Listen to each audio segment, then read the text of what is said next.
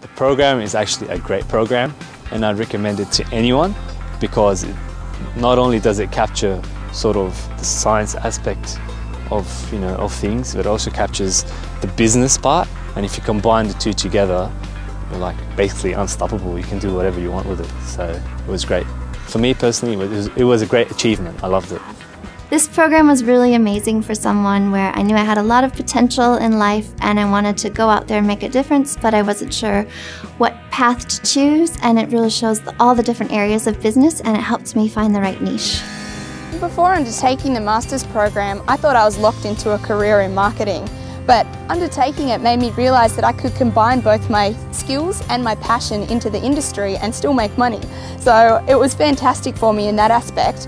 It was also really great because of the networks I established, so through students and staff members I met, I was able to get the job that I'm now doing. I think one of the reasons why I enjoy this program is because of the flexibility the program offers and also the fact that the staff are very supportive. A lot of people actually do postgraduate studies on a part-time basis because they're often employed full-time. So you need to have um, a, a, faculty and a program that takes that into consideration. So that's actually why I think um, it's, it's worked perfectly for me.